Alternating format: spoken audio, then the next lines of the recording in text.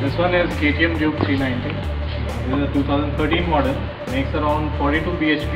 This is my do-it-all machine. The machine you see over here is a Suzuki GSXR 1000. This is 2006 model.